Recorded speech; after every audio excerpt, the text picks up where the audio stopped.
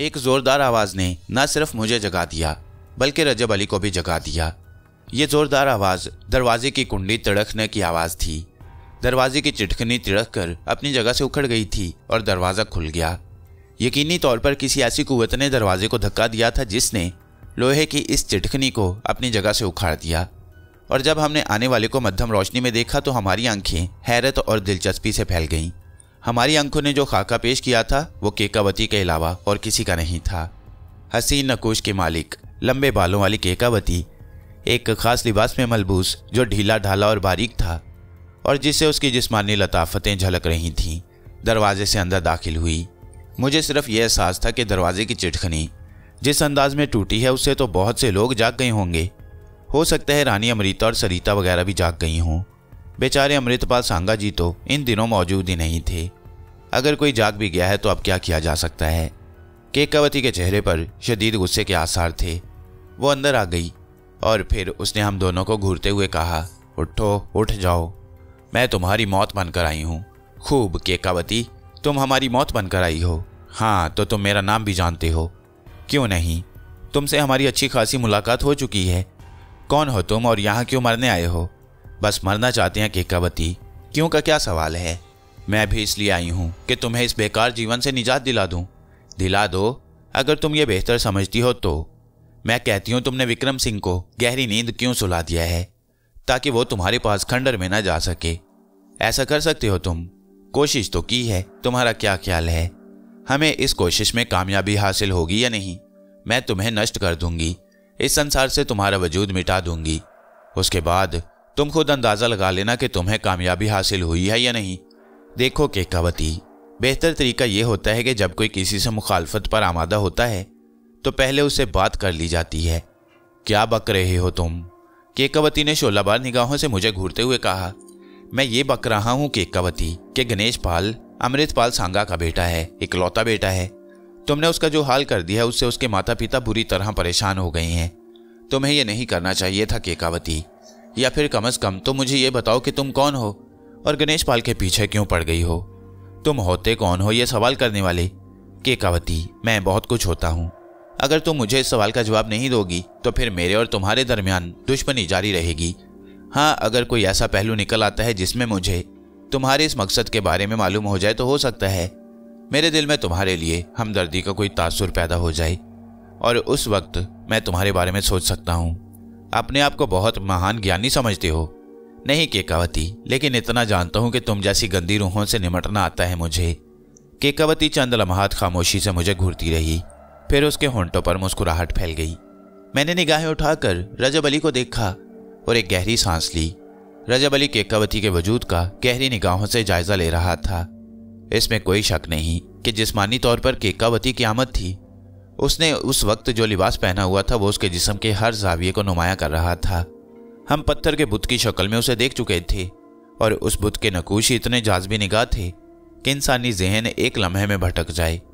रजब अली उस वक्त हमाकतों का शिकार नज़र आ रहा था, लेकिन मैं ज़ाहिर है, ये अच्छी तरह समझ रहा था कि इस वक्त एक बदरू हमारे सामने है, और इस बदरू से किसी भी बुरे काम की तो की जा सकती है। वो मुस्कुराती रही, और फिर चंद कदम आगे बढ़ाई। तुम मेरे बारे में जानोगे, मुझसे जंग करोगे तुम तुम में इतनी शक्ति है, बहुत ज्ञानी हो। मैं अभी तुम्हारा सारा ज्ञान ध्यान निकाल कर रख देती हूँ। ज़रूर, मैं यही चाहता हूँ। मैंने कहा, और केकावती मुझे देखने लगी, फिर बोली तो फिर मेरी आँखों में देखो, मेरी आँखों से मेरे मन में झांको। तुम्हें पता चल जाएगा कि मैं कौन हूँ। ज़रा देखो, मेरी आँखों में देखो। ये उसने इस एतमाद से कहा, जैसे मुझे अपनी आँखों के सैर में गिरफ़्तार करके दर हकीकत ख़त्म कर डालेगी। लेकिन मेरे ख्याल में, उससे पहली सबसे बड़ी हमाकत हुई थी। और मेरे तजुर्बे में यह इजाफा भी हुआ कि गंदी अरवाहें भी धोखा खा सकती हैं, और उन्हें हकीकतों का इलम नहीं होता।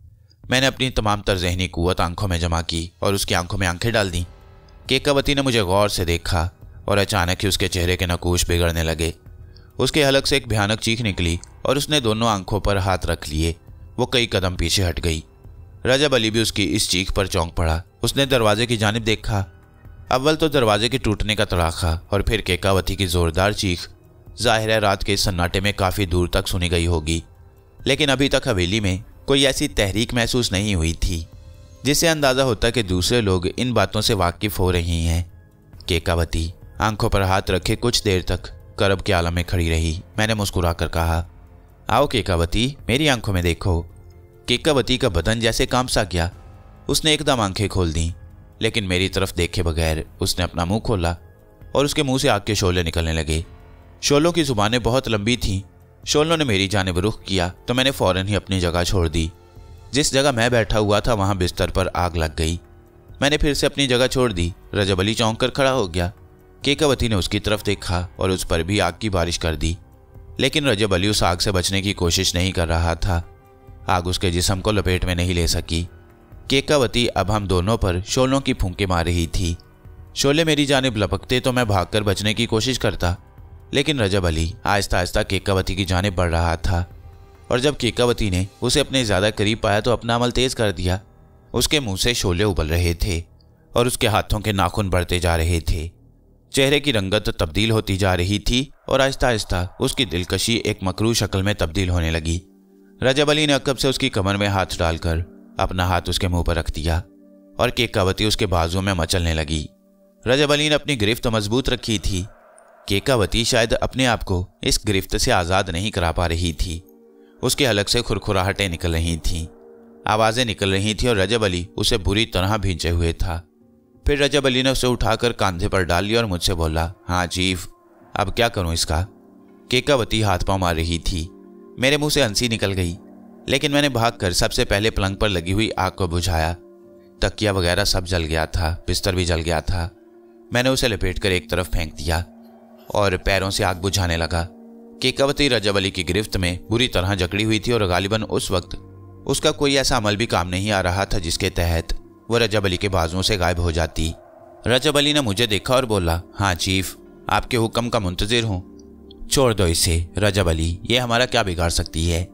मैंने कहा, रजब अली ने केकावती को ज़मीन पर उतार दिया। लेकिन यूँ महसूस हुआ जैसे ज़मीन को छूते ही केकावती की वो कुतें वापस आ गईं, जो रजब अली की आगोश में शायद बेअसर हो गई थी। उसने एक लंबी छलांग दरवाजे की जानब लगाई और दूसरे लम्हे वह दरवाजे से गायब हो गई। मैं और रजब अली तेज़ी से दरवाजे की जानब आए और बाहर झांका, लेकिन अब वहाँ केकावती का कोई वजूद नहीं था। गोया वो अपना काम करने के बाद शिकस्त खाकर फरार हो गई। रजब अली और मैं इसके बावजूद बहुत दूर तक आए। वापस जाकर हमने उस कमरे में झांका, जिसमें गणेश पाल रहता था। शीशे से गणेश पाल सोता हुआ नज़र आया, और रानी अमृता भी उसके करीब ही बिस्तर पर लेटी हुई थी। उनका एक हाथ गणेश पाल के सीने पर रखा हुआ था। दोनों ही पुरसकून नज़र आ रहे थे। हम मुतमिन अंदाज में वापस पलटे। इसका मतलब है कि इन लोगों ने कोई आवाज़ नहीं सुनी। मैंने रजब अली से कहा इससे कम अज कम यह अंदाज़ा हो गया कि केकावती गणेश पाल को उठाकर नहीं ले जा सकती। अगर वो अपने शहर से उसे बुलाने की कोशिश करती तो गणेश पाल बेहोशी के आलम में वहाँ नहीं जा सकता था। इस तजुर्बे से एक फ़ायदा यह हुआ कि जब तक गणेश पाल की हालत बेहतर नहीं हो जाती कम अज़ कम रात को, उसे इंजेक्शन के जेर असर रखने से फ़ायदा होगा। रजब अली ने कोई जवाब नहीं दिया। अंदर कमरे में आ गया। मैंने टूटे हुए दरवाजे को देखते हुए कहा, इसे बंद करने की कोशिश करो। सुबह को यह जवाब देना पड़ेगा कि दरवाज़ा कैसे टूटा, आग कैसे लगी। रजब अली ने फिर भी कुछ न कहा। मैंने चौंक कर रजब अली को देखा। दरवाज़ा उसने सीधा खड़ा करके किसी न किसी तरह बंद कर दिया और फिर वापस पलटकर वह मुर्गा बन गया। मुर्गा बनकर उसने मुर्गे की बोली बोलना शुरू कर दी। मैंने हैरानी से रजब अली की यह हरकत देखी। एक लम्हे के लिए मेरे दिल में यह ख्याल गुजरा कि कहीं केकावती के किसी अमल का कोई नतीजा तो नहीं है। लेकिन फिर एकदम मुझे ख्याल आया कि यह रजब अली की शरारत भी हो सकती है। मैंने उसीले लहजे में कहा, क्या बदतमीजी है? सीधे खड़े हो जाओ। रजब अली गहरी गहरी सांस लेता हुआ सीधा खड़ा हो गया। ये क्या मुसीबत नाजिल हुई है तुम पर? चीफ, एक बार छुआ है, दोबारा छूने की हवस है। रजब अली ने कहा, क्या मतलब? अब मतलब क्या बताऊँ, चीफ? इतनी जर्नल नॉलेज नहीं है मेरी। अब ये क्या हो गया तुझे? क्या भौंक रहा है? मेरी समझ में कुछ नहीं आ रहा। वाह, चीफ, वाह, क्या अच्छा आइडिया है। मेरा ख्याल है, चीफ, आई एम सॉरी, यही ज़्यादा मुनासिब है। मुर्गे की बोली बोलना दुरुस्त नहीं है। मैं बाहर जाकर पाए बाग में कुत्ते की तरह भौंकने लगता हूँ। रजब अली अब तू बोर कर रहा है मुझे। नहीं चीफ, तुम समझ नहीं सकते। क्या बताऊँ, किसकी कसम खाऊं चीफ? उसे अपने बाजू में जकड़ा था। हाय, चीफ अंदाज़ा नहीं लगा सकते। क्या नरम शय थी और चीफ, उसके उज्व उज्व का लम्स। हाय, चीफ क्या कहूँ, क्या नहीं कहूँ? रजब अली अमा छोड़ो चीफ। कभी कभी तो इंसान बनकर भी सोच लिया करो। एक बदनसीब जिन के बारे में बाद में नहीं देखा था उसे। आँखें बंद कर ली थी चीफ। असल में उस तासुर को जायल नहीं करना चाहता था, जो उसके बदन को अपनी गिरफ्त में लेकर मेरे अंग अंग में दौड़ गया था। तो अब क्या इरादा है? जाओगे उन खंडरात में? चीफ मतलब समझा नहीं, क्या कह रहे हो? क्यों, खौफजदा हो गए। अम्मा चीफ, ऐसी मस्करी बातें मत किया करो कि मुझे बेख्तियार हँसी आ जाए। मैं और खौफजदा हो जाऊँ, कुछ तो ख्याल करो चीफ। तो फिर बौखला क्यों गए? असल में चीफ ईमानदारी की बात बताऊँ, अगर तुम मुझे इजाज़त दे दो तो मैं उन्हीं खंडरात में जाकर रहना शुरू कर दूँ। वैसे भी मेरे मतलब की जगह है। तुम्हें मालूम है कि हम लोगों को ऐसी ही जगह पसंद होती हैं। और फिर वहाँ, रजब अली बेतु के अंदाज में हंस पड़ा और मुझे भी हँसी आ गई। यार, अगर जिन वाकई ऐसे होते हैं, जैसा तू है तो कमाल है। अभी आपने हमारे कमाल देखे ही कहाँ हैं चीफ। आपने कोई मौका ही नहीं दिया हमें अपने कमालात दिखाने का। पाबंदियाँ पाबंदियाँ, पाबंदियाँ। उसकी असल शक्ल देखने के बावजूद तू वहाँ उसके पास जाकर रहने के लिए तैयार है। जिनकी असल शक्लें देखते हैं चीफ, उनसे हमें क्या हासिल हो जाता है? कम अज कम केकावती फराग दिल तो होगी। बकवास मत करो, वो गंदी रूह है। क्या तुझे गंदगी में घुसने की इजाज़त है? रजब अली सर खुजाने लगा। कुछ देर गर्दन झुकाए बैठा रहा और फिर हंस पड़ा। कमाल है चीफ, मज़ाक भी नहीं समझते। बड़े कूड़ मगज हो। हाँ ये तो है। अच्छा फिर अब ये बता के क्या किया जाए। चीफ, इस सिलसिले में मेरा एक मशवरा है। क्या? केकावती यहाँ ज़ाहिर है, इसलिए आई थी कि हमने उसके प्रेमी को रोक लिया। और ये बात भी साफ़ हो चुकी है कि केकावती किसी भी तौर पर गणेश पाल को यहाँ से उठाकर नहीं ले जा सकती, बल्कि किसी तरह वो गणेश पाल को आवाज़ देती है। और गणेश पाल जैसे भी मुमकिन होता है उसके पास चला जाता है, और वहाँ जाने के बाद उसकी दिमागी कैफियत बिल्कुल ठीक हो जाती है। बस ये दूसरी बात है कि वो अपने आप को विक्रम सिंह समझता है। इसके पसे पर्दा यकीनी तौर पर कोई कहानी है, चीफ। ज़ाहिर है, ये हमें आसानी से नहीं मालूम हो सकती। गणेश पाल की दिमागी कैफियत दुरुस्त नहीं है, और फिर केकावती कभी हमें ये कहानी सुनाने से रही। अगर ये कहानी मालूम हो जाती, चीफ तो ज़्यादा अच्छा ना होता क्या? होता तो सही। देखो, मेरी बात पर बुरा मत मानना। नहीं नहीं, अच्छी बातें कर रहा है, बोल। मेरा ख्याल है, अगर हम चाहें तो गणेश पाल की जानब से केकावती की तवज्जो हटाने के लिए उसे उन खंडरात में ही परेशान करते रहें। वो कैसे? आते जाते रहें। मगर वहाँ तुझे मिलेगा क्या? केकावती किसी न किसी शक्ल में तो हमारा इस्तकबाल करेगी ना? वैसे वो मुजस्मा भी वहाँ मौजूद है, चीफ। अगर उस मुजस्मे को तोड़ दिया जाए तो? मैं गहरी सोच में डूब गया। केकावती का ताल्लुक अगर बराह रास्त तो उस मुजस्मे से है। तो क्या मुजस्मे को तोड़ देने से केकावती खत्म हो सकती है? ये सोच जरा काबिल गौर थी। मैंने इससे इतफाक करते हुए कहा हाँ एक हद तक ठीक है। तो बस फिर चीफ, चलें अभी। नहीं, मेरा ख्याल है अभी नहीं। यहाँ इन लोगों को होशियार कर देना ज़रूरी है। मेरा ख्याल है चेतन अब हमारे ट्रांस में आ गया है। वो अब कोई गड़बड़ नहीं करेगा। समझदार आदमी है और जहाँ तक हमारा अंदाज़ा है, कम अज़ कम यहाँ इन लोगों से मुखलिस है। उसके ज़रिए इन्हें कोई नुकसान नहीं पहुंचेगा। हाँ फिर? गणेश पाल को काबू में रखने की ज़िम्मेदारी उसके सपुर्द कर दी जाए तो कैसा रहेगा? ठीक रहेगा, चीफ। आदमी काम का है और फिर मर्द है। बाकी जहाँ तक रहा, अमृतपाल का मामला तो अव्वल तो वो बेचारा। यहाँ के मामलात में ही इस कदर मसरूफ रहता है। अब देखो ना, कई दिन से नज़र भी नहीं आए। और इसके अलावा बाप हैं। बेटे के लिए वो सब कुछ नहीं कर सकते जो आमतौर से लोग कर सकते हैं। उस वक्त रजब अली बड़े काम की बातें कर रहा था और मैं उसकी बातों से इस्तफादा हासिल कर रहा था। मैंने उसे इतफाक करते हुए कहा, बिल्कुल ठीक है। तो बस चीफ सो जाओ, आराम के साथ। अरे हाँ इस टूटे दरवाजे का क्या होगा? क्या जवाब देंगे हम इन लोगों को? बता देना मुनासिब होगा, मैंने कहा। डर जाएँगे। क्या किया जा सकता है? बहरहाल जो सूरत हाल है, वो तो है ही। तो फिर ठीक है। ये फैसला हो गया ना? हाँ हो गया। लेकिन एक बात और कहूँ तुझसे, रजब अली। जी चीफ केकावती अब बराह रास्त हमारी दुश्मन बन चुकी है। हसीन दुश्मन है। रजब अली ने मुस्कुराते हुए कहा और यह हसीन दुश्मन, अगर किसी ज़रिए से तेरी और मेरी दोनों की गर्दन मोड़ दे तो? अगर उसके हाथ मेरी गर्दन तक पहुँचेंगे चीफ तो उसके हाथों में कुछ नहीं आएगा सिवाय हवा और धुएँ के। और जहाँ तक तुम्हारा मामला है तो चीफ, मेरी हज़ार आँखें हैं। मैं तो सिर्फ़ दो आँखों से सोता हूँ। बाकी नौ सौ अठानवे खुली रहती हैं। मतलब यह है कि तू मेरी भी हिफाजत करेगा। बिल्कुल करेगा चीफ, नहीं करेगा तो जाएगा किधर? रजब अली ने मुँह टेढ़ा करके कहा और मैं हंसने लगा, फिर मैंने कहा तो फिर मैं आराम से सो जाऊँ। बिल्कुल आराम से सो जाओ, चीफ। रजब अली को तुम्हारी हिफाजत के लिए। अगर हज़ार दिन भी जागना पड़े तो वो जागता रहेगा। Thank you Rajab Ali thank you very much English में जब कोई बात करते हो ना, चीफ तो दिल चाहता है कि तुम पर निसार हो जाऊँ। हाँ अच्छे अच्छों की यही हालत है। अपनी ज़ुबान भूल कर मुँह टेढ़ा करने ही को काबिलियत समझते हैं। ठीक है। रजब अली ने बदस्तूर मुँह टेढ़ा करके कहा। और इसके बाद सोने के अलावा और कोई काम बाकी नहीं था। दूसरी सुबह चेतन की टीम वापसी के लिए तैयार थी। यहाँ खासे दिन गुजार चुके थे वो लोग, और यहाँ उन्हें अनोखे तजुर्बात का सामना करना पड़ा। हम दोनों से किसी के मिलने की ज़रूरत नहीं हुई, क्योंकि जो कुछ उनकी निगाहों के सामने आ चुका था वह बहुत ज़्यादा था। अलबत्ता मैंने निशा से पूछा, क्या चेतन भी वापस जा रहा है? नहीं, चेतन भैया भी यहीं रहेंगे। ठीक है, मैंने जवाब दिया। काम बन गया था। मैं यही चाहता था। फिर भी टीम के रवाना होते हुए चेतन खुद मेरे पास आ गया। मेरे दोस्त वापस जा रहे हैं। क्या उनसे मुलाकात नहीं करेंगे दीपक महाराज? हाँ हाँ चलो। मैं तो सिर्फ़ इसी का इंतज़ार कर रहा था कि तुम अगर चाहो तो हम उनके पास आएँ। टीम के तमाम अफराद को हमने रुखसत किया। इस बात की तस्दीक भी हो गई थी कि चेतन उनके साथ वापस नहीं जा रहा। टीम वापस चली गई। यहाँ पिछले चंद दिनों में जो हंगामा खेजियाँ हो गई थीं, अब वो सुकून पा गईं। चेतन उन लोगों को रुखसत करने गया। सरिता, निशा और रजनी उनमें से कोई नहीं गया। या तो उन्हें जाने की इजाज़त नहीं मिली, या फिर खुद उन्होंने जाना मुनासिब नहीं समझा। रजब अली अलबत्ता उनसे कुछ खिंचा खिंचा सा नज़र आया। उसे गालबन यह एहसास था कि जब तक वो लोग यहाँ रहे, इन लड़कियों ने उसे लिफ्ट नहीं दी, और अब वो खुद उन्हें लिफ्ट देना नहीं चाहता। अब ये उसके मसाइल थे, इस सिलसिले में क्या मदाखलत करता। दोपहर को उन लोगों से ज़रा तफसीली मुलाकात रही। चेतन, रानी अमरीता और तीनों लड़कियाँ हमारे पास आ गईं। रानी अमरीता ने कहा ये लोग आए थे, कुछ रौनक हो गई थी, जी बट गया था। अब फिर उदासी छा गई है। चेतन क्यों वापस नहीं गए? मैंने सवाल किया। बस दीपक महाराज, मुझे अचानक ये एहसास हुआ कि घर में जो परेशानियाँ हो गई हैं, मैं उनमें कोई हिस्सा नहीं ले रहा। असल में दीपक महाराज, ज़रा से जहन की बात है। आप यकीन कीजिए, पहले मैंने इस अंदाज में नहीं सोचा। मेरे दिल में बस एक ख्याल था कि गणेश भैया किसी बीमारी का शिकार हो गए हैं, ठीक हो जाएँगे।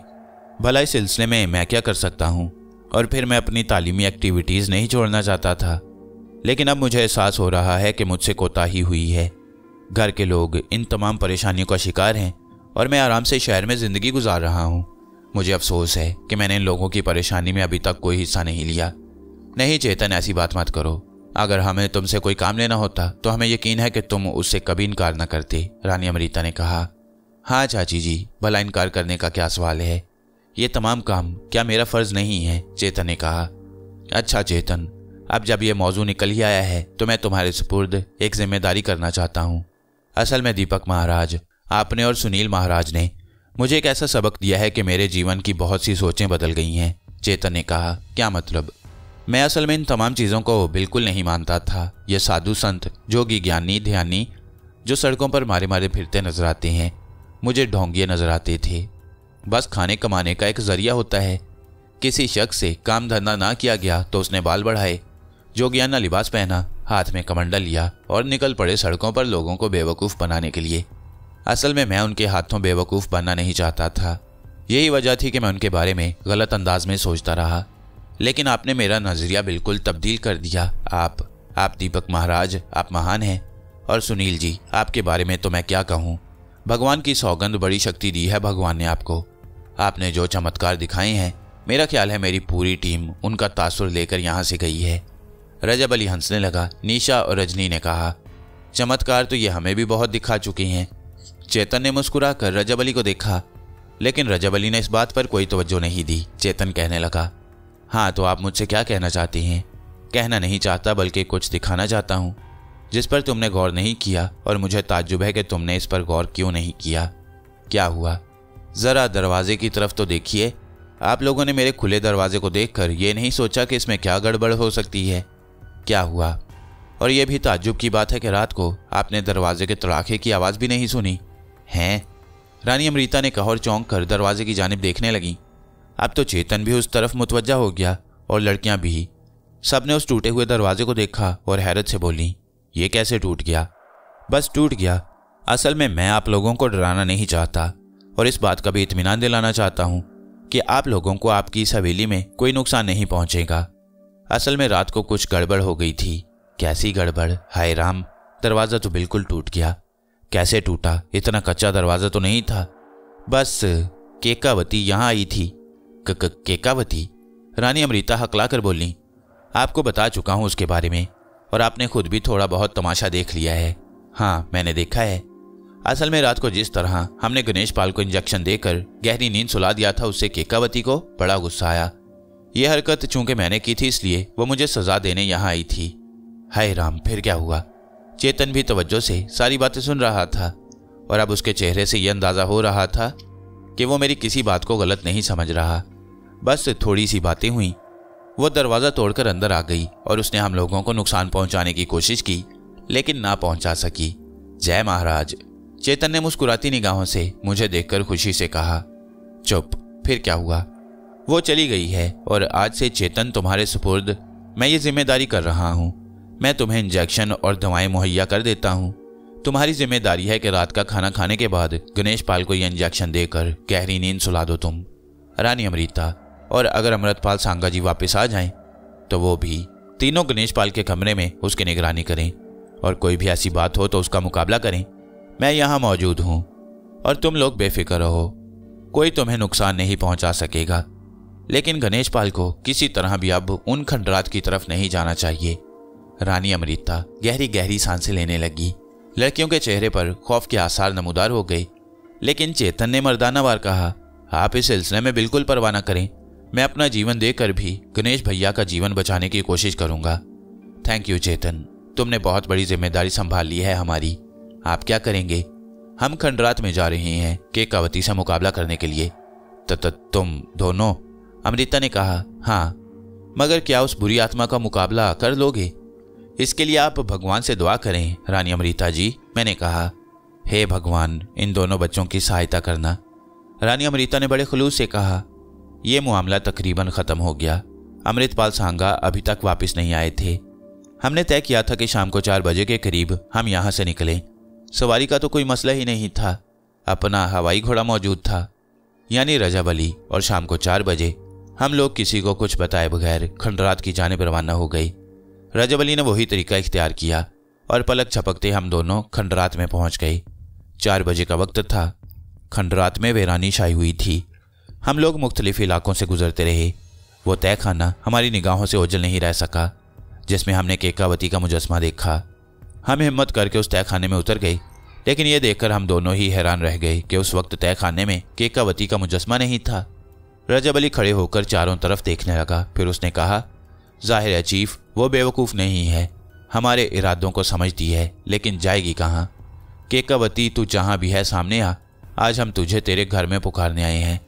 अरे, अगर हिम्मत है तो सामने आ। हमारे घर पहुँची थी, वहाँ से मार खाकर निकल आई। अब यहाँ तो हमसे मुकाबला कर। रजब अली की हौलनाक आवाज़ देर तक खंडरात में गूंजती रही, लेकिन हमें कोई तहरीक महसूस न हुई। मैं और रजब अली बहुत देर तक खंडरात में भटकते रहे, और फिर इसके बाद रजब अली ने कहा, ठीक है चीफ, आज नहीं मिली, कल तो मिलेगी। क्या ख्याल है? यहाँ वक्त गुजारने से, क्या ये ज़्यादा बेहतर नहीं कि हम लोग वापस चलें? चलो। मैंने कहा, और हम लोग खंडरात से बाहर निकल आए। बाहर भी खामोशी और सन्नाटे का राज था। घर ही चलें, चीफ, रजब अली ने कहा। हाँ मैंने गहरी सांस लेकर कहा। घर पर खौफ और दहशत की फिजा छाई हुई थी। थोड़ी देर में हमने महसूस कर लिया कि आज सूरत हाल कुछ मुख्तलिफ़ है। मैं रजब अली के साथ रानी अमरीता के पास पहुँच गया। गणेश पाल ही के कमरे में थी। गणेश पाल मामूल के मुताबिक अपनी मसहरी पर नीम दराज था। दुनिया और माफिया से बेखबर, अपनी सोचों में गुम। आँखें खुली हुई थी, लेकिन चेहरे पर ज़िंदगी के आसार कभी भी नज़र नहीं आते थे। मैंने उस वक्त उसके चेहरे पर ज़िंदगी देखी थी, जब वो खंडरात में केकावती के साथ था। उसके बाद से आज तक या उससे पहले कभी उसके चेहरे पर ज़िंदगी के आसार नज़र नहीं आए। रानी अमृता से मैंने कहा, क्या बात है? आज घर की कैफियत अजीब सी हो रही है। रानी अमृता ने ठंडी सांस ली और आस्था से बोली, भगवान जाने, हमारे ये कष्ट कब दूर होगा? कुछ और बात हो गई क्या? मैंने सवाल किया। नहीं, लेकिन तुमने जो कहानी सुनाई है, उससे डर तो लगा ही है ना? हम कर भी क्या सकते हैं?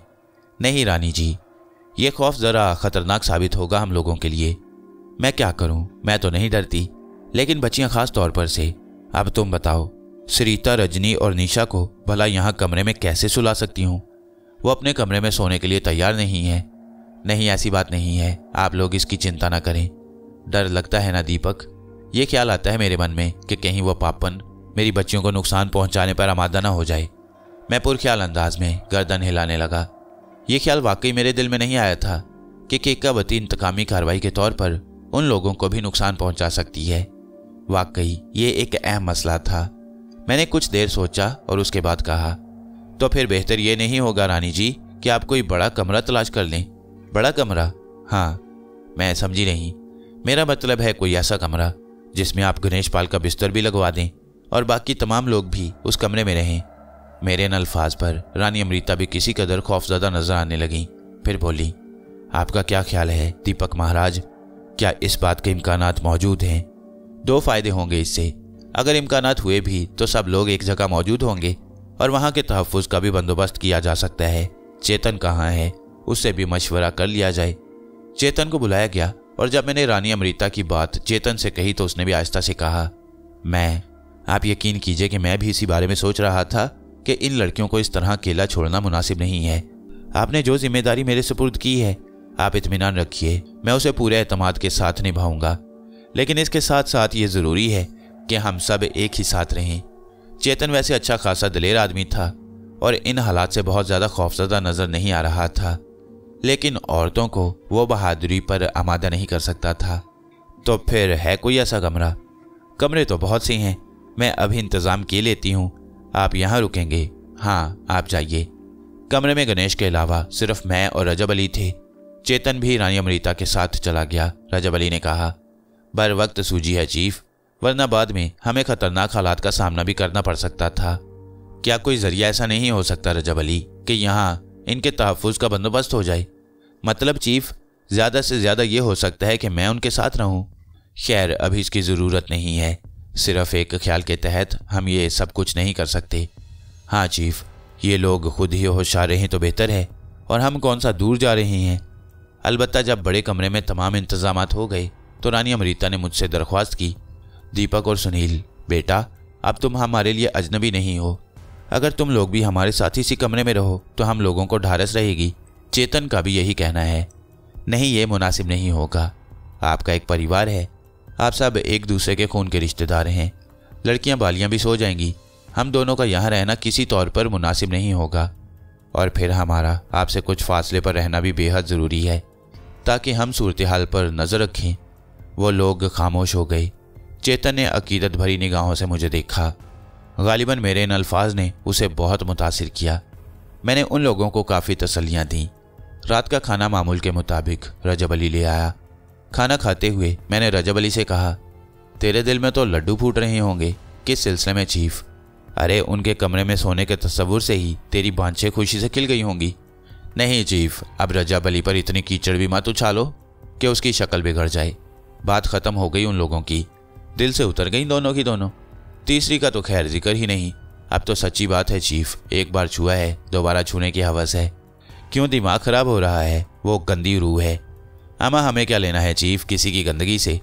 बस यूँ ही दिल में यह ख्याल आ जाता है बार बार क्या बताऊँ, ऐसे मौाक़े बहुत कम मिलते हैं। अच्छा अच्छा फजूल बकवास से गुरेज करो। अब ये बताओ कि हमें क्या करना चाहिए? हमा चीफ, आराम से सो जाना चाहिए। खाने पीने के बाद सारी चीज़ें ज़िंदगी के साथ हैं। और फिर कोई गड़बड़ हुई तो देखा जाएगा। रजब अली ने जवाब दिया और मैं पुरख्याल अंदाज में गर्दन हिलाने लगा। इसके बावजूद थोड़ी बहुत बेदारी ज़रूरी थी। मैंने अपना कमरा नहीं छोड़ा। उस कमरे की खिड़की से ज़रा अतराफ का जायज़ा लिया जा सकता था। ना जाने क्यों, मेरे दिल में भी एहसास था कि केकावती की जानब से कोई कार्रवाई ज़रूरी होनी चाहिए। खंडरात में उसके मुजस्मे के ना मिलने का मतलब ये था कि वो हमसे होशियार हो गई है और हम पर पूरी पूरी निगाह रखे हुए है। सूरत हाल अब संगीन हदूद में दाखिल हो गई थी। रात आहिस्ता आहिस्ता गुजरने लगी। उन लोगों ने अपने मोर्चे संभाल रखे थे। चेतन ने मेरी हदायत के मुताबिक गणेश पाल को इंजेक्शन दे दिया था और वो गहरी नींद सो रहा था। हम लोग भी नींद की आगोश में जाने वाले थे कि अचानक रजब अली अपने बिस्तर पर उठकर बैठ गया। मैं उसके जिसम की सरसराहट से चौंक कर उसे देखने लगा। रजब अली आहिस्ता आहिस्ता उस खिड़की की जानब बढ़ रहा था जो सामने वाले हिस्से में खुलती थी। उसने खिड़की आहिस्ता से खोली और बाहर झांकने लगा। फिर उसने दबी दबी आवाज़ में मुझे पुकारा, चीफ, इधर आओ। मैं तेज़ी से उठकर खिड़की के करीब पहुँच गया और वहाँ से मैंने भी उस साय को देख लिया जो सफ़ेद लिबास में मलबूज था। दूर ही से देखने पर यह अंदाज़ा हो जाता था कि केकावती है। आहिस्ता आहिस्ता चलती हुई वो इसी तरफ़ आ रही थी। मैंने रजब अली को इशारा किया और खिड़की के पास से हटाया। हाँ चीफ, आ रही है। देख लेंगे, परवाह ना करो। चलो। नहीं चीफ, तुम मत जाओ। क्या मतलब? इस वक्त सूरत हाल से मुझे ही निमटने दो। मैंने एक निगाह रजब अली को देखा। उसने संजीदगी से ये अल्फाज कहे थे, और यह भी एक सच था कि केकावती का मुकाबला रजब अली ही कर सकता था। मैं खामोश हो गया, लेकिन फिर भी मैं अपने कमरे के दरवाजे से बाहर निकल आया, और उस राहदारी के एक सतून के पास रुक गया, जिसमें हमारे कमरे का दरवाज़ा था, और उसी से गुजरकर आगे जाया जा सकता था। रजब अली की तरफ़ से कोई कार्रवाई बज़ाहिर देखने में नहीं आई, लेकिन अचानक ही उस बड़े कमरे की जानब से चीखों की आवाज़ें सुनाई दी, जिसमें वो तमाम लोग मौजूद थे। मैं बर्क रफ्तारी से उस जानब बढ़ गया और दरवाजे पर पहुँच गया। मैंने दरवाजे पर दस्तक दी तो अंदर से चीखों की आवाज़ और तेज़ हो गई। लेकिन फिर दरवाज़ा खुला और चेतन हाथ में पिस्तौल लिए बाहर निकल आया। कौन है? क्या है? उसने कहा और मैंने जल्दी से आगे बढ़कर कहा, चेतन मैं हूँ। ओ दीपक महाराज। हाँ क्या बात है, खैरियत। मैं तेज़ी से दरवाजे के अंदर घुस गया। चेतन भी मेरे पीछे ही अंदर आ गया। कोई खास बात नहीं। ये जो पिछली खिड़की है ना, किसी ने इसको खोलने की कोशिश की थी। चाची जी का कहना है कि उन्होंने खिड़की में एक चेहरा देखा। एक चमकता हुआ, खौफनाक चेहरा। मैं तेज़ी से खिड़की के पास पहुँचा।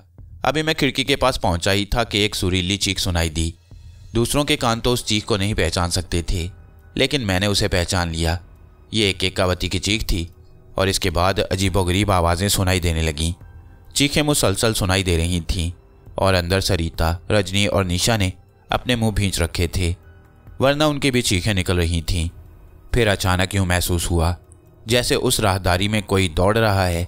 दौड़ते हुए कदमों की आवाज़ किसी एक की नहीं थी, बल्कि मेरे हसास कानों ने अंदाज़ा लगा लिया कि दो अफराद के दौड़ने के कदमों की आवाज़ है। इसके बाद अचानक ही खिड़की का शीशा एक छन्नाके से टूट गया और चेतन ने यके बाद दीगरे, पिस्तौल से कई फायर खिड़की पर कर दिए। मैंने चेतन का हाथ रोका और उससे कहा, बेवकूफ़ी ना करो चेतन, इसकी कोई ज़रूरत नहीं है। मैं मौजूद हूँ, मेरी इजाज़त के बगैर कुछ ना करो। एक खौफनाक माहौल पैदा हो गया। अंदर मौजूद खातन के चेहरे खौफ से सफ़ेद हो रहे थे। गणेश पाल, आराम की नींद सो रहा था और चेतन की आँखें गुस्से से चमक रही थीं। वह बिलाशुबा, दलेर नौजवान था और इन हालात से खौफजदा नज़र नहीं आता था। चीखों की आवाज़ बहुत देर तक सुनाई देती रही। केकावती दीवानी हो रही थी अपने महबूब के करीब आने के लिए, और उसे यहाँ तक आने से रोकने वाला रजब अली के अलावा और कौन हो सकता था? ये भाग दौड़ तकरीबन 45 मिनट तक जारी रही, और इसके बाद सन्नाटा तारी हो गया। मैंने चेतन से कहा, मैं बाहर जा रहा हूँ, देख कर आता हूँ। चेतन ने गर्दन हिला दी। मैं बाहर की तरफ़ बढ़ा तो रजनी और निशा दौड़कर मुझसे लिपट गईं। नहीं, दीपक महाराज, आप बाहर ना जाइए। आपको भगवान का वास्ता अरे अरे, क्यों? क्या हो रहा है ये? चेतन इन्हें संभालो। मैंने कहा, और चेतन उनके करीब पहुँच गया। तुम लोग धीरज रखो, परेशान ना हो। वह रुक गई और मैं बाहर निकल आया। राहदारी में सन्नाटा था। अब कोई आवाज़ सुनाई नहीं दे रही थी। मैं अपने कमरे में पहुँच गया। मैंने रजब अली को आवाज़ दी। रजब अली मुस्कुराता हुआ मेरे सामने आ गया। हाय, चीफ, दिल टुकड़े टुकड़े हो गया है। देख, ऐसे हालात में अपनी दलेरी का मुजाहरा मत किया कर। क्या मतलब है, चीफ? वहाँ सब लोगों का दम निकल रहा है और तू कह रहा है कि दिल टुकड़े टुकड़े हो गया। अमा चीफ जरा गौर करो, कोई किसी से इतनी मोहब्बत करे, किसी को इतना चाहे। आज तो कम वक्त इंसानी जिसम में भी नहीं थी। क्या मतलब? हवा बनी हुई थी, पागल हो रही थी। और चीफ, आज उसने चेहरा भी नहीं बदला हुआ था।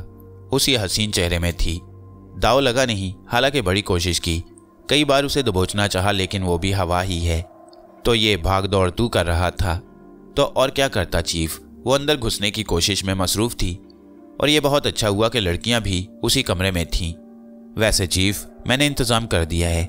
वो कमरे में अंदर अब नहीं दाखिल हो सकती। क्या इंतज़ाम कर दिया है? अमा ये बातें जिन्नों के लिए छोड़ दो चीफ। इन बातों के बारे में जानने की क्या ज़रूरत है? ठीक है, मैं नहीं जानना चाहता। तेरा मतलब यह है कि तूने कोई ऐसा हिसार कायम कर दिया है, जिससे वो अंदर दाखिल ना हो सके? लो, समझ गए। चलो छोड़ो, कोई बात नहीं है। अब वो कमरे में कभी नहीं दाखिल हो सकेगी। और इन लोगों से एक बात कह देना कि दिन का कोई मसला नहीं। लेकिन शाम को सूरज छुपने के बाद उन्हें इस कमरे में रहना चाहिए। इस कमरे से बाहर निकले तो नुकसान उठा जाएँगे। और ये चेतन महाराज उनसे कह दें कि रूहों पर पिस्तौल नहीं इस्तेमाल किया जाता। बेकार होता है। गोली पलटकर उनकी खोपड़ी में भी लग सकती है। ठीक है, इसका मतलब है कि केकावती ने बाकायदा मुकाबला शुरू कर दिया है। नहीं, चीफ, वो मुकाबले के लिए नहीं आई थी। बल्कि अपने दिल के तकाजों से मजबूर होकर यहाँ आई थी, और आज अगर उसे अंदर दाखिल होने का मौका मिल जाता तो हो सकता है वो गणेश पाल को उठाकर ले जाती, और किसी ऐसी जगह गायब कर देती, जहाँ आम लोगों के लिए गणेश पाल का पता लगाना मुश्किल हो जाता। हमारी और बात है। तो अब फिर क्या ख्याल है रजब अली? बस अब आप उनसे कह दें, चीफ कि आराम से सो जाएँ। बहुत दूर भगाया हूँ मैं उसे, और अब वो वापस नहीं आएगी। पूरे इतमान से कह रहा है अमा हम हाजिर हैं, चीफ। हम कौन सा सोने जा रही हैं? रात को पहरा दे लेंगे। अब तुमने ये खेल शुरू किया है तो इसका एंड होने ही वाला है। चीफ, अगर चाहो तो। अच्छा छोड़ो। हाँ बोल बोल। नहीं, चीफ, कमीनेपन की बात कर रहा था। ठीक है, कमीनेपन की कोई बात ना करना ही बेहतर है। मैंने कहा और रजब अली अजीब से अंदाज में मेरी सूरत देखने लगा। इसके बाद मैंने उन लोगों को समझा लिया। अलबत्ता दूसरे दिन मैंने कहा, रानी जी, अब समय आ गया है कि हम अपने काम की तकमील करें। इसके लिए आपको कुछ ज़िम्मेदारी देना चाहता हूँ। ज़रूर महाराज। रात को आप लोग खास तौर पर गणेश पाल के साथ रहेंगे। अब इन हालात में गणेश पाल को अकेला छोड़ना बिल्कुल मुनासिब नहीं होगा, सरिता ने कहा। क्या दिन में भी हमें उसका ख्याल रखना होगा? बिल्कुल नहीं। दिन में आप अपने काम करें, बल्कि चेतन तुम्हारी एक ड्यूटी है। जी दीपक महाराज, तुम्हें दिन में भी गणेश पाल के साथ रहना होगा। गणेश पाल के अंदर अगर कोई बेचैनी पाई जाए और वो घर से भागने की कोशिश करे तो उसे फ़ौरन इंजेक्शन दे देना। ठीक है, मैं ख्याल रखूँगा। यह हदायत देकर हम मुतमिन हो गए। फिर ये सोचा कि कहीं बाहर निकला जाए। हवेली की फ़िज़ा अजीब हो रही थी और इस फिज़ा में बोरियत के सिवा और कुछ हासिल नहीं हो सकता था। चुनाचे मैं और रजब अली बाहर आ गए। सांगापुर की रौनक बहाल थी। मुश्किल सिर्फ़ इसी घराने पर पड़ी थी। बाकी लोग पुरसकून नज़र आ रहे थे। यह भी ज़िंदगी का एक राज है। हम एक तरफ़ जा रहे थे कि एक खूबसूरत नौजवान हमारे पास आकर रुक गया। दीपक महाराज उसने कहा और हम चौंक कर उसे देखने लगे। वो फिर बोला, आप मुझे नहीं जानते, मगर मैं आपको जानता हूँ। कौन है आप? हरदेव पाल है मेरा नाम। आप मुझे थोड़ा सा वक्त दे सकेंगे, क्यों नहीं? अपने घर में? हाँ सरिता ने मुझे कहा है कि आपको हमारे बारे में मालूम हो चुका है। उसने ये भी कहा है कि आप हमारी सहायता करने का वादा कर चुके हैं। मगर तुम तो बहुत दूर रहते हो, गाड़ी है मेरे पास। क्या तुम्हारे घर जाना बेहतर है? कोई हर्ज नहीं है। ठीक है, चलो, मैंने आमादगी का इजहार कर दिया। हरदेव पाल की कार कुछ फासले पर खड़ी थी। उसने हमारे लिए दरवाज़ा खोल दिया और हम बैठ गए। उसने स्टेयरिंग संभाल लिया। मैं आपको वापस छोड़कर जाऊँगा, कोई बात नहीं। मैंने कहा और वो खामोशी से कार ड्राइव करता रहा। कुछ देर के बाद उसने कहा, मैं सरिता को बहुत चाहता हूँ, दीपक महाराज। मुझे अंदाज़ा है। वो भी मेरे बिना नहीं रह सकती। मगर हमारे बुज़ुर्ग जहालत में डूबे हुए हैं। और हम दोनों का जीवन बर्बाद कर देना चाहते हैं। क्या यह ठीक है? बिल्कुल नहीं। मगर एक बात बताओ, हरदेव जी महाराज, तुम्हारे पिता जगतपाल, दुश्मनी का ये विरसा तुम्हें मुंतकिल करेंगे। क्या तुम ये दुश्मनी नहीं निभाओगे? आप खुद ही बता दें महाराज, इसकी वजह आपको मालूम है। हाँ सरिता ने बताया था। कोई अकल की बात है, सौ फ़ीसदी जहालत। बात थी खत्म हो गई। संसार में सब अपने तौर पर जीते हैं। यहाँ दोस्ती निभाना मुश्किल है, ना कि दुश्मनी। गोया तुम इसके खिलाफ हो। सुलगता हूँ इस पे। अपने पिता जगतपाल जी को समझाने की कोशिश की तुमने। सच्चे मन से कह रहा हूँ कि पिताजी भी सुलझे हुए आदमी हैं, मगर शुरू ही से यह चक्कर चल रहा है। ज़बरदस्ती की दुश्मनी दिलों में डाली गई है और दोनों से निभाने पर आमादा। मेरे ख्याल में अगर अमृतपाल महाराज कुछ नरम पड़ते तो पिताजी भी नरम पड़ जाते। उन्हें तुम्हारे दिल का हाल मालूम है पिताजी को? हाँ। नहीं, वो नहीं जानते, पर माता जी माता जी जानती हैं। हाँ उन्हें मालूम है। वो क्या कहती हैं इस बारे में? वो कुछ नहीं कह सकती महाराज, पतिवर्ता हैं बस। दुआएँ देने के अलावा और कुछ नहीं कर सकती। तो अब ये बताओ कि तुम मुझसे क्या चाहते हो? मैंने सवाल किया। महाराज, आप ज्ञानी हैं। मैंने आपको दूर से देखा है। सरिता से बात भी की है आपके बारे में। मैंने कहा था कि नौजवानी की उम्र है और भगवान ने आपको इतना कुछ दे दिया है। सरिता कहने लगी कि इस उम्र की वजह से ही आप हमारे मन का रोग समझ सकती हैं। बस महाराज, ताक में था आपकी कि कहीं आप नज़र आ जाएँ और आज भगवान ने मेरी सुन ली। मुझे करना क्या है?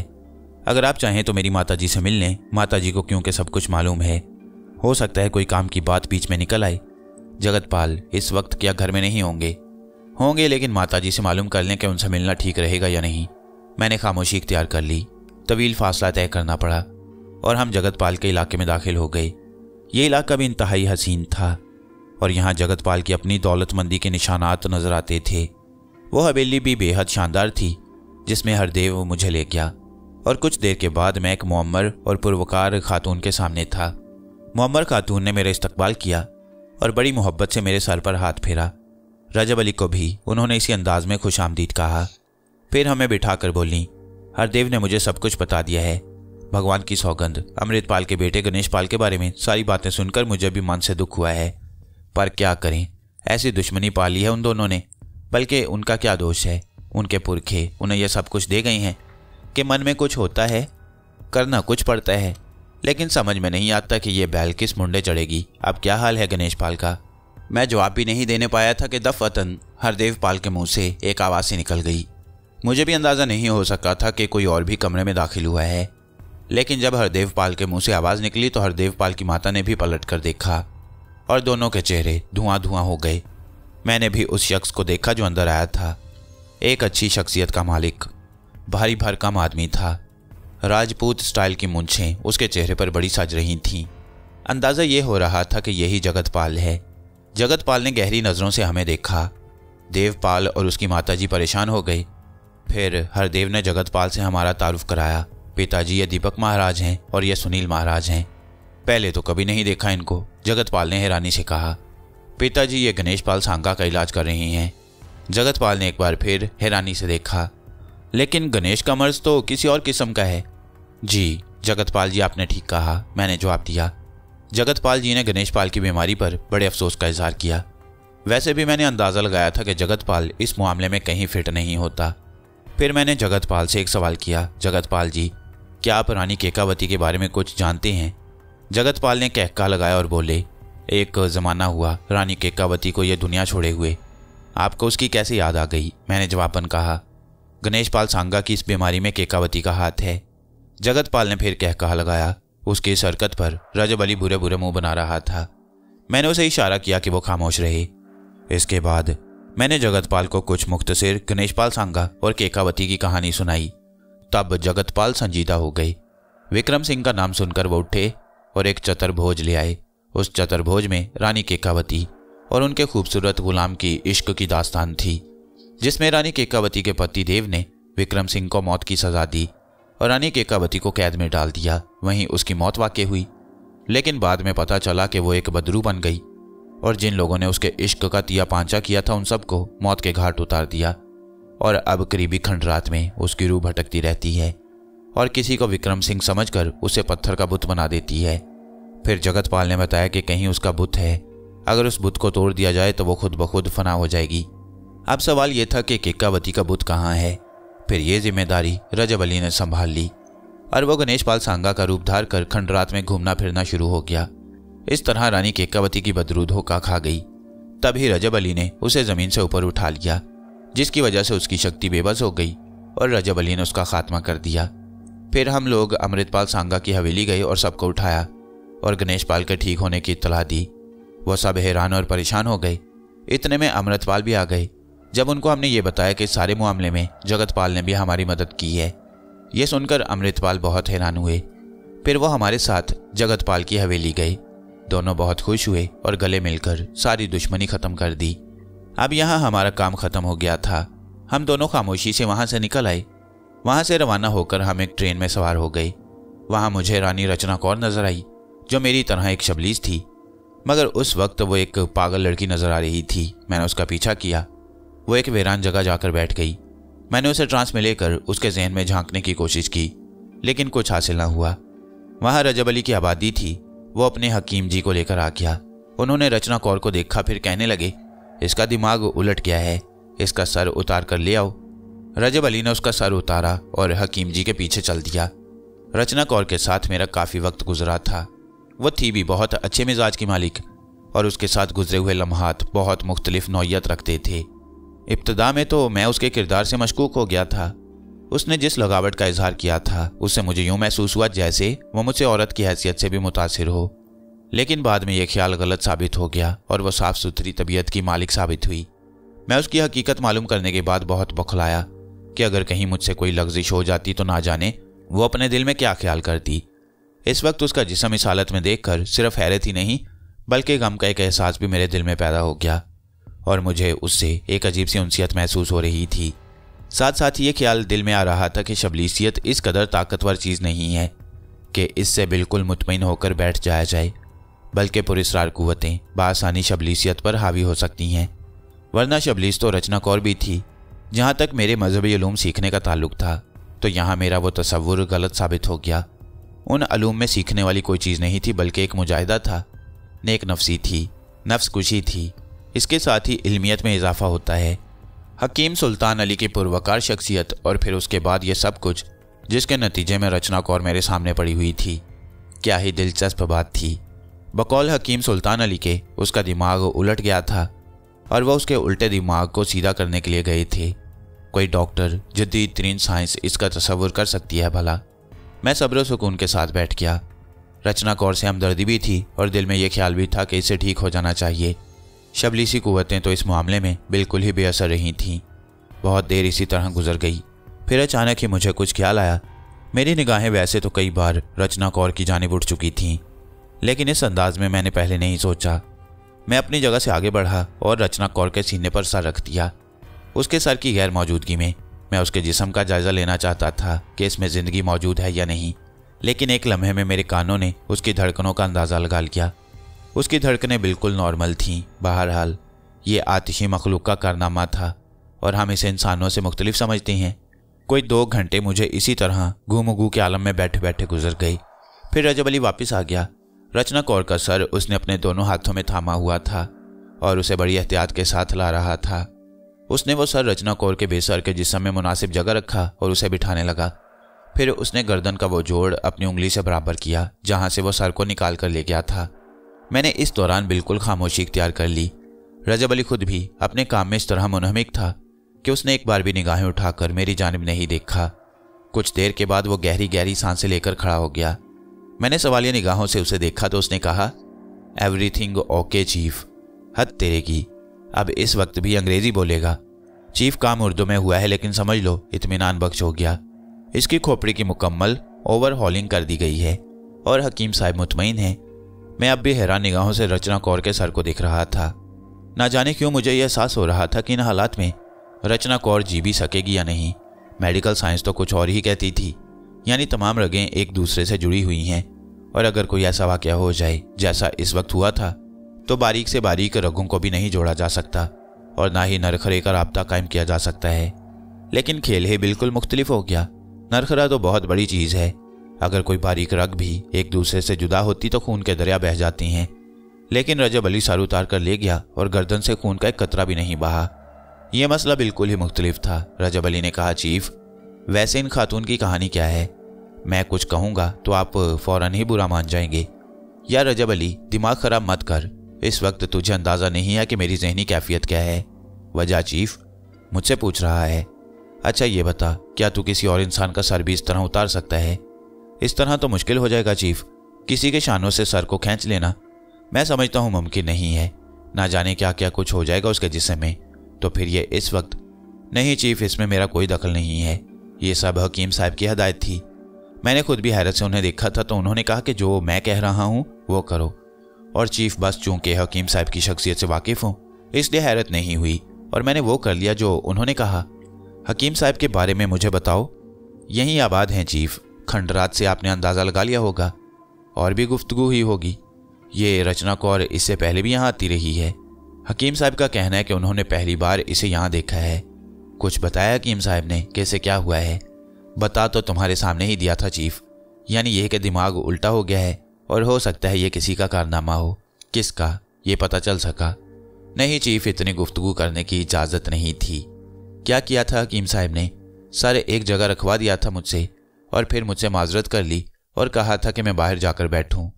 बाद में उसकी फिटिंग दुरुस्त करके उन्होंने उसे मेरे हवाले कर दिया और कहा कि ले जाऊँ, बिल्कुल ठीक है।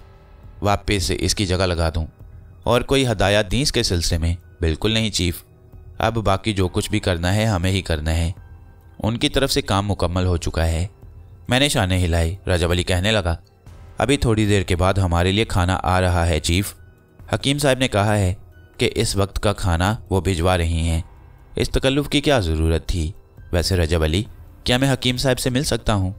रजब अली मुस्कुरा दिया और बोला, नहीं चीफ, मुनासिब नहीं होगा। तुम इन तमाम खंडरात का चक्कर लगा लो, किसी का नामो निशान नहीं मिलेगा तुम्हें। सिर्फ़ ईंटों पत्थरों के ढेरों के अलावा यहाँ और कुछ नहीं है। लेकिन हकीम साहब का पूरा खानदान आबाद है और वही नहीं, और भी बहुत से रहते हैं। मुझसे आपके बारे में मालूम हासिल कर रहे थे हकीम साहब। मैं एक ठंडी सांस लेकर खामोश हो गया। ज़ाहिर है, ये जिन्नों की नगरी थी। किसी इंसान को इससे ज़्यादा अहमियत नहीं दी जा सकती थी। रचना कौर उसी तरह साकित पड़ी हुई थी। हमने वहीं पर इंतज़ार करने का फैसला कर लिया। अब वो होश में आए तो बाद के हालात देखें।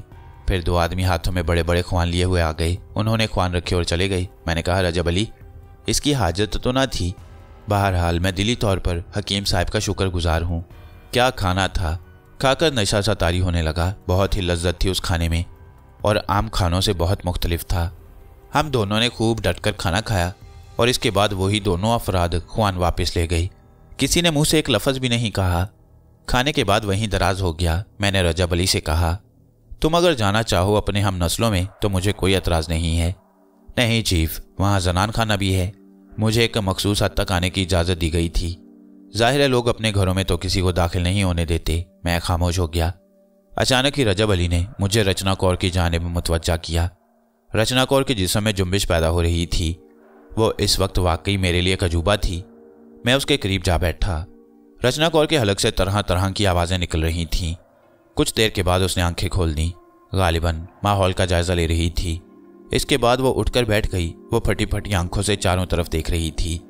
फिर उसकी निगाहें मुझ पर जम गईं और उसके चेहरे पर ऐसे तासुरात नज़र आने लगे, जैसे वह मुझे पहचानने की कोशिश कर रही हो। फिर उसने मुझे पहचान भी लिया और उसके मुँह से बेख्तियार आवाज़ निकल गई ओफ माई गॉड तुम आकिल रफीक हो। वेरी गुड तुमने मुझे पहचान लिया रचना। मगर तुम कहाँ? क्या मैं पागल हो गई हूँ? ये कौन सी जगह है? आकिल, ये कौन सी जगह है? मुझे क्या हो गया है? भगवान, ये मेरा लिबास। अरे, तोबा तोबा। मैं कहती हूँ, ये हुआ क्या है? रजब अली से आना था। एक लम्हे में उसने अपने आप को इंसानी निगाहों से ओझल कर दिया। लेकिन मैं उसे देख सकता था। उसने मुझे इशारा कर दिया कि रचना कौर को उसके बारे में कुछ नहीं मालूम होगा। और मैंने उसका इशारा समझ भी लिया। मैंने कहा, अब कैसी तबीयत है रचना? ठीक हूँ, मैं बिल्कुल ठीक हूँ। मगर तुम ये बताओ कि यह सब कुछ क्या है? मैं यहाँ कैसे आ गई और ये चीथड़े जो मेरे बदन पर झूल रहे हैं? हे भगवान मेरा दिमाग खराब हो जाएगा ये सब देखकर। इससे पहले तुम कहाँ थी, रचना कौर? इससे पहले वह दिमाग पर ज़ोर देती रही और फिर अचानक ही उसके चेहरे पर अजीब से तासुरात पैदा हो गए हे भगवान हे भगवान, रचना पहली बात तो ये समझ लो कि अगर तुम किसी मुश्किल में गिरफ़्तार थी तो अब नहीं हो। मैं तुम्हारे पास मौजूद हूँ, कोई परेशानी नहीं होगी तुम्हें। दूसरी बात यह कि अगर कोई मुश्किल बरकरार है तो मिलजुल कर उसे ठीक करेंगे। तुम्हें परेशान होने की ज़रूरत पेश नहीं आएगी। अगर दिलो दिमाग में हिम्मत हो, जिस हम इजाज़त देता हो तो उठकर बैठो और मुनासिब समझो तो मुझे अपने बारे में बताओ। जो कहानी मेरे जहन में छुपी हुई है, तुम उसे सुनोगे तो दंग रह जाओगे। मैं दंग रह जाना चाहता हूँ, लेकिन सवाल यह पैदा होता है कि क्या तुम इस पोजीशन में हो कि मुझे अपनी कहानी सुना सको? मैं बिल्कुल ठीक हूँ। अपने आप को बड़ा तंदुरुस्त महसूस कर रही हूँ। लगता है जैसे कोई फ़िक्र ही ना हो। लेकिन अपने आप को इस हाल में देखकर ज़रूर हैरान रह गई हूँ। मैं तुम्हें अपने बारे में सब कुछ बता दूँगी। लेकिन भगवान के लिए पहले मुझे ये बता दो कि तुमने मुझे कहाँ पाया, कहाँ थी मैं, और ये कौन सी जगह है? मैं बता देता हूँ तुम्हें। इससे कम अज कम तुम्हें अपने माजी में झांकने में आसानी होगी। मैंने कहा रचना कौर सवालिया निगाहों से मुझे देखने लगी। अब वो संभल कर बैठ गई थी। फिर मैंने कहा, मैं रेल से सफ़र कर रहा था। बस यूँ ही कोई ख़ास मंजिल नहीं थी। जहाँ तक रेल मुझे ले जाती, वहाँ तक चला जाता। हसनपुर नामी स्टेशन पर रेल आई और मैंने यूँ ही सरसरी सी निगाहों से बाहर के मंजर को देखा और मुझे तुम नज़र आई। रचना कौर, तुम प्लेटफॉर्म पर भिकारनों के अंदाज में इन झूलते हुए चीथरों के साथ घूम रही थीं। मुझे हैरत होनी चाहिए ना? सो, मैं शदीद हैरत का शिकार हो गया। और फिर भला ये कैसे मुमकिन था कि मैं रेल ही में बैठा रहता? मैं नीचे उतर आया और इसके बाद तुम्हारा पीछा करता हुआ उन खंडरात में आ गया। ये खंडरात जिस बस्ती में उसका नाम हसनपुर है। तुम यहाँ अपने कदमों से चलकर आई थी। मैं बस तुम्हारा पीछा करता हुआ यहाँ तक पहुँच गया और इसके बाद तुम यहाँ बैठ गई। फिर शायद तुम्हें नींद आ गई। मैं उस वक्त से यहीं मौजूद हूँ और तुम्हारे होश में आने का इंतज़ार कर रहा हूँ। रचना कौर फटी फटी आँखों से मुझे देखती रही। रजब अली ने अलबत्ता इस बात पर मुतमिन अंदाज में गर्दन हिलाई कि मैंने जो कुछ कहा था वो ज़रूरत के मुताबिक है। रचना कौर ने कहा, और तुमने मेरे साथ कोई कार्रवाई नहीं की? अरे तोबा तोबा मैंने मस्करी अंदाज में कहा और रचना कौर मेरा मतलब समझकर झींप गई। उसके झीम कर मुस्कुराने का अंदाज इस बुरी हालत के बावजूद बहुत दिलकश था। रजब अली ने दोनों आँखें बंद करके गाल फुला लिए और सीने पर हाथ रखकर वहीं ज़मीन पर बैठ गया।